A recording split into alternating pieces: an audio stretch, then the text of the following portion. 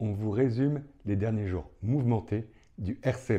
Que de changements en une semaine. Le RC a tout d'abord perdu son coach Franck Hez. L'entraîneur, qui aurait mené le club de la Ligue 2 à la Ligue des Champions, a décidé de partir à Nice après une saison très usante finie à la 7 place en Ligue 1, synonyme de qualification en Ligue Europa Conférence. Le club, avec son président actionnaire Joseph Ougourlian, a décidé de prendre un nouveau virage. Arnaud Pouille, le directeur général du club, a annoncé son départ ce samedi aux salariés du club.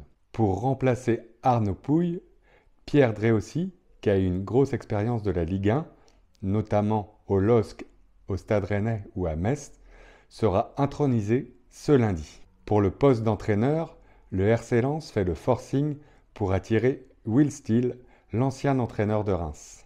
Les Red Tigers, le principal groupe de supporters, a montré son mécontentement avec des messages sur les réseaux sociaux.